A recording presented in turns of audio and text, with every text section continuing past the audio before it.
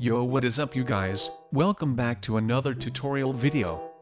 Today I will be doing another Minecraft Blender rig tutorial which is an update to my last one that was a while back ago, I'll show you how to install it, and some other basics to creating your render and stuff like that. Now I'm fairly new to Blender 2.8 but I still know most things so I promise we'll get the job done anyways. The first thing you need to do is make sure you have Blender installed. Whether that's on Steam or on Google or your browser of choice, just go through all the steps. It's pretty obvious to download. Now the next thing you will need, if you want to render your actual Minecraft character is NameMC, which is a place where you just search up your Minecraft username and you can pull up current skins and even past skins, from your account and even other people's accounts.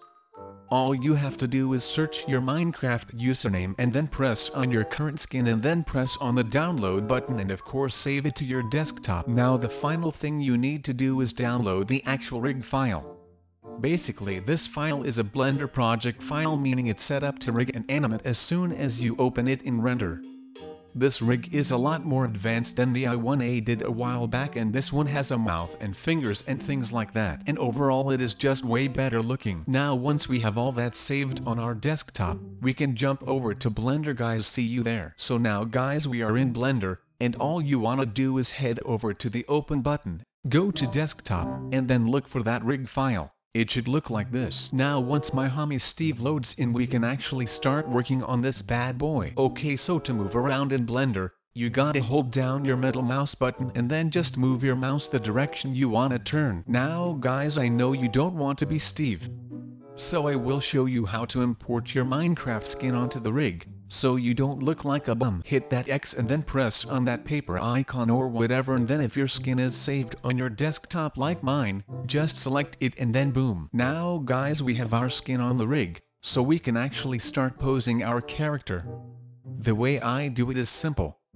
I press shift and select the controller, and I use these things right here to move it where I want. It may not be the best way, but it's what was easy and convenient for me and this is my tutorial man. I'll fast forward and do a very basic little thingy. Y'all do yours however you want be creative.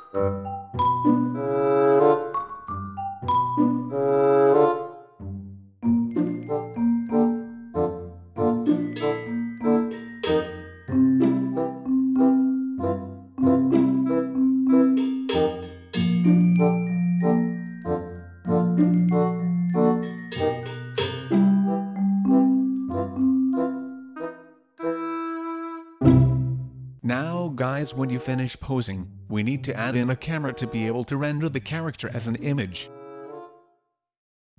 Once you get that in we need to move it so our character is in frame. You can get into the camera by press the num 0 key and you can just use the controls on the right to move it around and get your guy into frame like I do.